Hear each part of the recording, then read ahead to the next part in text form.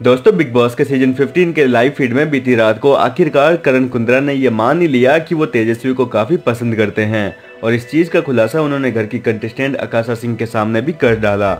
दरअसल दोस्तों, हुआ कुछ यूँ था कि बीती रात को घर के सभी कंटेस्टेंट एक दूसरे के साथ काफ़ी देर तक बातचीत करते हुए नज़र आए थे। वहीं इसके बाद में करण कुंद्रा और तेजस्वी के बीच में भी हमें काफ़ी प्यारी बॉन्डिंग देखने को मिली और देर रात तक दोनों कंटेस्टेंट एक दूसरे से बातचीत कर रहे थे। इसी दौरान दोस्तों करण कुंद्रा तेजस्वी के साथ कुछ ऐसी ऐसी बातें कर रहे थे जिसे सुनकर आप भी काफ़ी खुश हो जाएँगे।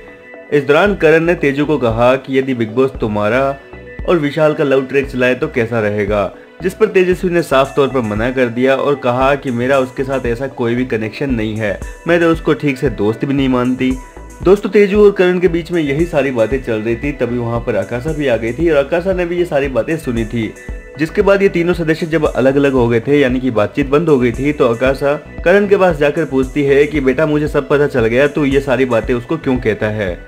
ये सुनकर कहीं ना कहीं करण के चेहरे पर एक प्यारी सी मुस्कान हमें देखने को मिली। लेकिन दोस्तों, आकाशा सिंह ने आखिरकार करण कुंद्रा से बातों ही बातों में पूछ लिया कि, तेरा उसके साथ चक्कर क्या चल रहा है? तो बता तो दे मुझे। जिसमें दोस्तों करण कुंद्रा ने पहले तो कुछ भी नहीं कहा, लेकिन बाद में आकाशा ने जब ज़्यादा ही जिद किया तो करण के मुँह से निकल ही गया कि तेजू काफ़ी पसंद है, लेकिन वो हिम्मत नहीं जुटा पा रहे कि तेजू को कुछ बोल दे।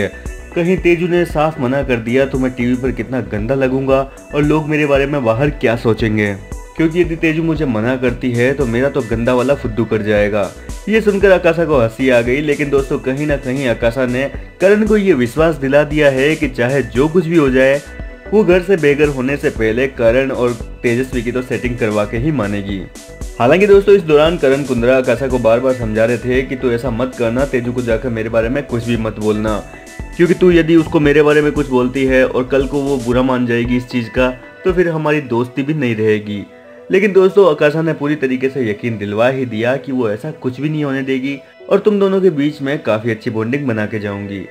खैर दोस्तों, अब तो ये देखना दिलचस्प होगा कि आकाशा की ये सारी कोशिशें कौन सा नया रंग लेकर आती है फ़िलहाल दोस्तों, आपको करण की बातें कैसी लगी, हमें कमेंट करके ज़रूर बताएँ। वीडियो पसंद आए तो लाइक ज़रूर करें और बिग बॉस की हर खबर को सबसे पहले जानने के लिए चैनल को सब्सक्राइब करना ना भूलें।